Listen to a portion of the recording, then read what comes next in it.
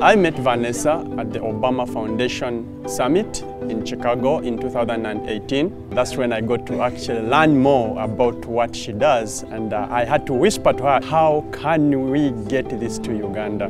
The event that we led today was in the Som Chess Academy School. We gathered kids from all the different Som Chess Academy programs and we distributed to them Freedom Cups which are essentially just reusable menstrual cups. We didn't just deal with the youth, we got their parents and their mentors and their guardians involved. We're trying to get these out to women who can't afford clean periods. Women with no access to any form of sanitation, no clean running water, no pads and tampons, no toilets.